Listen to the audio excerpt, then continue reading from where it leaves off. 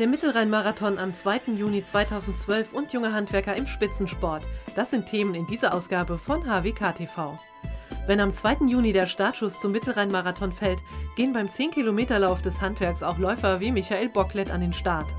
Der Karosserie- und Fahrzeugbauermeister aus Koblenz bereitet sich bereits jetzt auf die sportliche Herausforderung vor und nutze das jüngste Angebot der Handwerkskammer Koblenz zum Motivationsseminar mit den erfahrenen Läufern Ute Simon Adorf und Mirko Dreiser. Die beiden Extremsportler brachten Erfahrungen und Bilder mit, die sicher beim Mittelrhein-Marathon auf keinen Läufer warten. Doch ob Alpenüberquerung oder 10 Kilometer am Rhein, Laufen ist auch Kopfarbeit. Mentale und sportliche Fitness standen im Mittelpunkt des Motivationsseminars.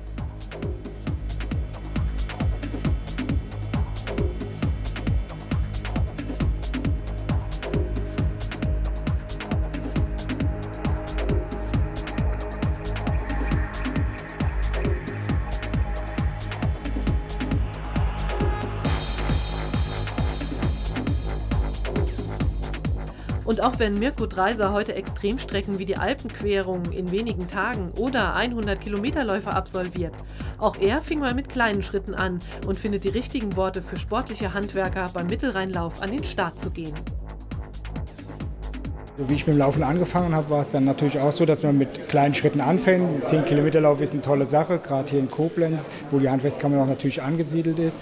Und äh, es kann natürlich auch hilfreich sein in seinem beruflichen Leben. Also der Handwerker muss schwer arbeiten und kann natürlich über das Laufen einen tollen Ausgleich finden. Von da würde ich sagen, Schuhe anziehen und einfach loslaufen.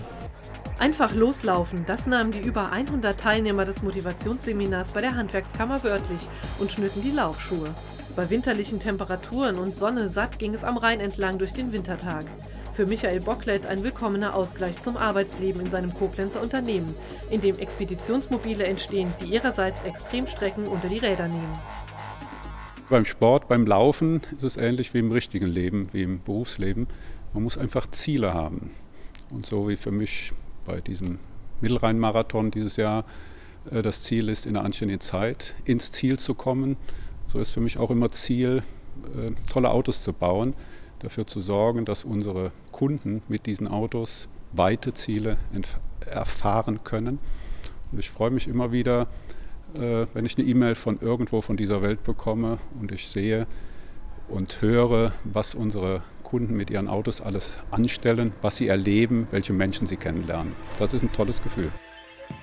Was hier entsteht, geht weltweit auf Reisen. Bocklets Mobile überqueren die Anden oder durchfahren die Sahara. Es sind Ausdauersportler, die im Handwerksbetrieb in Form gebracht werden.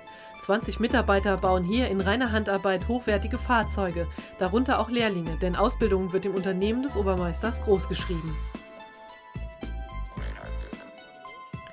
Ausbildung und Spitzensport, das verbinden auf beeindruckende Weise auch Max Pähler und Katharina Stube. Beide absolvieren seit September 2011 ihre Ausbildung bei der KEWAG. Max zum Metallbauer, Fachrichtung Konstruktionstechnik, Katharina zur Kfz-Mechatronikerin. Neben ihrer handwerklichen Laufbahn sind beide als Sportler erfolgreich. Max in der Ski-Alpin-Nationalmannschaft der Gehörlosen. Ich war jetzt beim, für den Verein GSV Neuwied und ähm, ich bin auch in der deutschen Gehörlosen Ski-Nationalmannschaft dabei. Und ja, wir bereiten uns gerade für die Ehren vor. Wir haben jedes zweite Wochenende einen Lehrgang, also halt um, zum Beispiel Stubai-Gletscher. Und da trainieren wir dann halt um, die Disziplinen. Und zu Hause mache ich halt Krafttraining im Kraftraum, ähm, Rumpftraining, Mountainbike fahren. Skifahren ist natürlich schon genial, aber Ausbildung macht mir auch Spaß, ganz klar.